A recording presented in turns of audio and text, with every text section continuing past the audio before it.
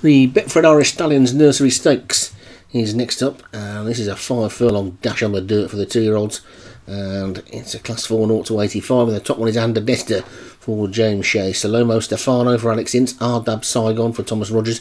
Eavesdropper Obo, Ryan Costello. Bridge Street Lady Martin Leadham. Came here for Love Ryan Costello. Mohawk Squaw Graham Clutterbuck. Hack Uzi for Armour Cure. Rack Silver for Thomas Rogers, Jacinda Posh, Mike Westwood, Faultline, Obi-Wan Silencia, Alex Cherry, Misty Mirage, Graham Clutterbuck, Intruder, Craig Beckwith and Greenstone for Satyam.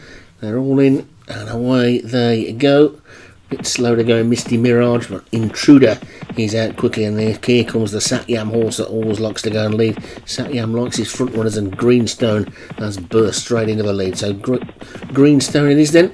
From the slow starting Misty Mirage has already come through into second. Mohawk Squaw after that, then Raxil Silver and Eavesdropper Obo with Hack Uzi and came here for love. The one closest to us is Ardab Saigon, but right over on the far side, Greenstone the grey leads from Misty Mirage in second. Eavesdropper Obo and Hack Uzi, then Silencia and Rack Silver, but Misty Mirage has taken it up now as Greenstone has given away pretty tamely on the inside, but now starts to try and fight back. The one coming through there is Jucinda Posh, but it's Greenstone, Eavesdropper Obo, Jucinda Posh, uh, Misty Mirage, Silencia, Intruder's trying to get into it as well, but it's Greenstone in the lead, Greenstone on the in inside, it's in front, Eavesdropper Obo, they switch angles, and now the pink jacketed Jucinda Posh comes through and finishing like an absolute train is Under Desta racing up towards the line, and it's got to be close. Jucinda Posh, I think, just got back up to take it.